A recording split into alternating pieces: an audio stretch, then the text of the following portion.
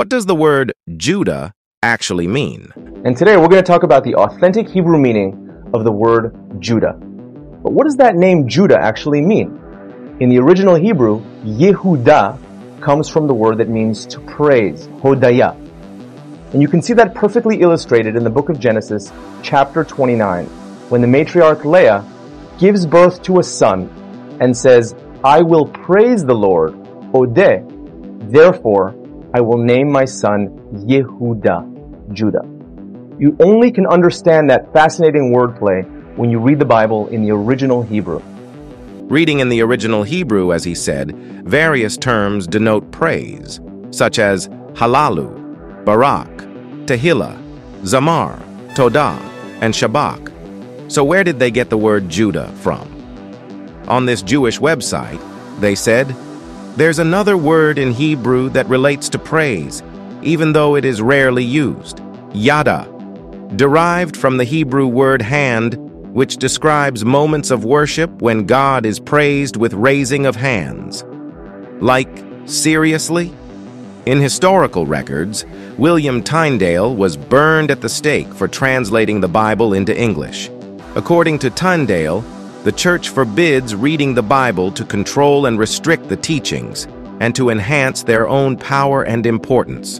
And as a result of that, they tried to hide the original language from the original people, thus sharing the original words amongst their own languages. But I'm not going into this. So let's see what Judah means in Genesis 29 to 35. Leah had the fourth child and said, Now I will praise the Lord. So she named him Judah. The Hebrew alphabets for Judah are Yod, Hey, Wah, Dalet, and Hey, while Jew, pronounced as Yehudi, are Yod, Hey, Wah, Dalet, and Yod. Looking at these words in Yoruba, it becomes Yin, Wa, Di, Ayo, and this means our praise, turned into joy. If you've seen my previous translations, you would realize that the Yoruba interpretation provides a deeper understanding of the biblical names. Yehuda or Yehudi in Yoruba is actually Iyinwa Diayo, which means our praise is turned into joy. Speaking of the name Ayo, transliterated as Yah in the Bible, can have other interpretations in Yoruba depending on the context and alphabets that may come in. But contrary to popular belief, it doesn't mean God. For instance, in Luke 1.13, Gabriel the angel said unto him, Fear not Asake re Ayo, thy prayer is heard, and thy wife Elizabeth shall bear you a son, and you shalt call his name John. And you shalt have joy and gladness, and many shall rejoice at his birth. So the reason behind his name is joy and gladness.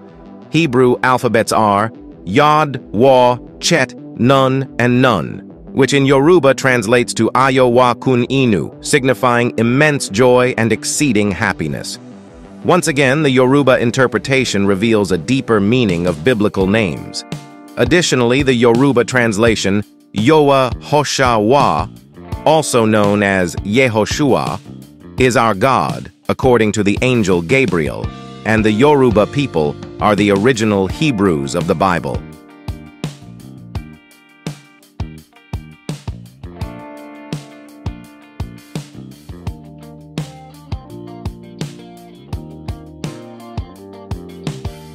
You a proud Jew? Yeah. Of course. Why? I love Hashem. Why do you love Hashem? He keeps me safe and protected. Okay, right now in the world, there's a lot of scary things going on, right? And people might be scared. A lot of Jews are scared. Tell them why they shouldn't. Why, why shouldn't they be scared? Hashem is watching over us and he promised us the land and we love him. He'll keep us safe. He'll always have Iraq, so keep us safe. He's watching over us. And we've been around for how long? How long has the Jewish people been around for? A long Forever. Forever. Always, always. Yeah. And we've always had enemies, right? Yeah, always. And where are they now? They're all gone. They're gone. The word Ashe is also a Yoruba word translated as Amen, contrary to the misconception of an Egyptian origin.